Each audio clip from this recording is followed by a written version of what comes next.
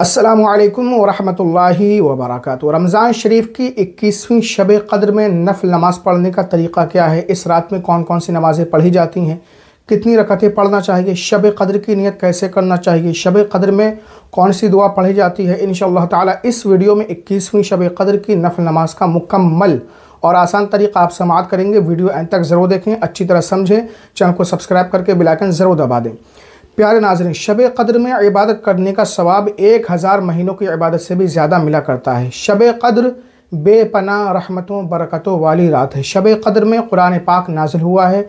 शब कद्र में इबादत करने से गुनाह मुआफ़ हो जाते हैं, जैसा कि अबू दाऊद शरीफ की हदीस है, एक हज़ार तीन सौ बहत्तर। प्यारे आका सल्लल्लाहु अलैहि वसल्लम ने इरशाद फरमाया, जिसने शब कद्र में ईमान और सवाब की नीयत से इबादत की, अल्लाह ताला उसके पिछले तमाम गुनाह मुआफ़ फरमा देगा। अब शब कद्र की नमाज़ पढ़ने का तरीक़ा भी आप समात फरमा लें। रमज़ान शरीफ की इक्कीसवीं शब को चार रकात नफल नमाज़, दो सलाम से गुनाहों की मगफरत के लिए पढ़ें। दो दो रकत की आप नीयत बांधेंगे। इस नमाज़ की नीयत आप इस तरह करेंगे। नीयत की मैंने दो रकत नमाज़, शब कद्र की गुनाहों की मगफरत के लिए वास्ते अल्लाह ताला के मुहमिना काबा शरीफ की तरफ़। हर रकात में सूर फातिहा के बाद एक बार सूर कद्र, यानी इन्ना अनजल्फ़ी लतलक़द्र और एक बार सूर अखलास यानी कुल्लाहु अहद पढ़ें। अगर सूर कद्र आपको याद ना हो तो जो सूरत याद हो वही पढ़ लें। कोई भी सूरत आप पढ़ सकते हैं, यही सूरतें पढ़ना ज़रूरी नहीं है। दो रकत मुकम्मल पढ़ लें तो फिर इसी तरह दो रकत और पढ़ें। फिर सत्तर बार आप दुरुद पाक पढ़ें, कोई सा भी। इन ताला इस नमाज़ की बरकत से अल्लाह ताला के मलाइका फ़रिश्ते आपके लिए दुआएँ मगफ़रत करेंगे। फिर अल्लाह ताला से अपने गुनाहों की माफ़ी मांगें इन ताला आपके गुनाह बख्श दिए जाएँगे।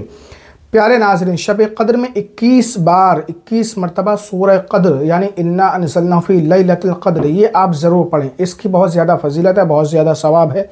और यही नमाज़ तेईस, पच्चीस, सत्ताईस, उनतीसवीं शब कदर को भी आप पढ़ सकते हैं। अब शब कद्र की दुआ भी आप समत फरमा लें, जो प्यारे आका सल्लल्लाहु अलैहि वसल्लम ने हसरत आयशा सिद्दीक़ा रज़ी अल्लाह को सिखाई थी, जैसा कि तिरमिज़ी शरीफ में ये दुआ मौजूद है, हदीस नंबर तीन हज़ार पाँच सौ तेरह।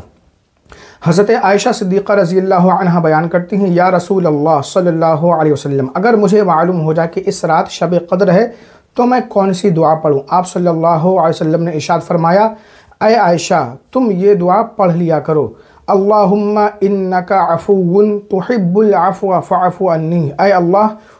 तू माफ़ फरमाने वाला है माफ़ फरमाने को पसंद फरमाता है तू मुझे भी माफ़ फरमा दे।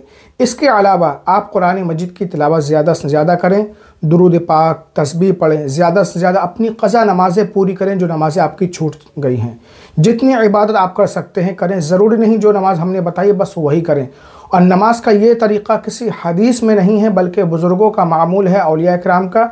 इसलिए कोई ये ना कहे कि हदीस पाक में ये नमाज़ कहाँ है इसका सबूत कहाँ है। कदर में इबादत करने से गुनाह सगीरा मुआफ़ होते हैं या गुनाह कबीरा भी मुआफ़ हो जाते हैं। तो इस बारे में मुल्ला अली कारी रहमत ने मिरक़ातुलमफ़ाती में ये लिखा है कि गुनाह सगीरा मुआफ़ होते हैं और अल्लाह ताला से उम्मीद है कि वो गुनाह कबीरा भी मुआफ़ फरमा दे, क्योंकि अल्लाह ताला बहुत रहीम करीम है। शब कद्र की ये नमाज़ ख़वातीन, औरतें मद हजरात दोनों पढ़ सकते हैं। इस वीडियो को लाइक करें, सवाब की नीयत से शेयर करें।